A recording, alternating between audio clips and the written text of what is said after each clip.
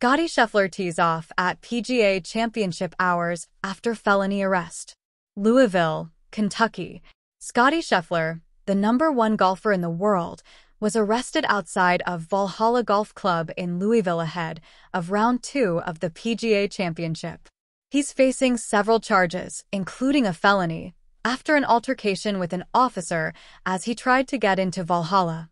According to Scheffler's attorney, Steve Romines, he's been charged with felony assault of a police officer, criminal mischief, and disregarding signals from officer directing traffic.